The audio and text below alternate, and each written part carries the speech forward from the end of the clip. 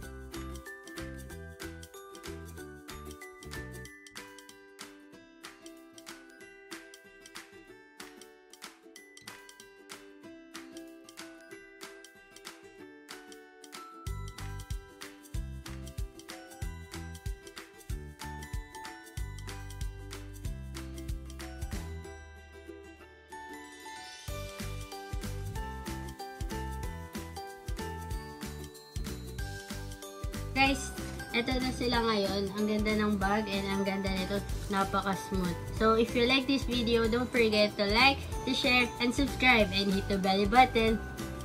Bye!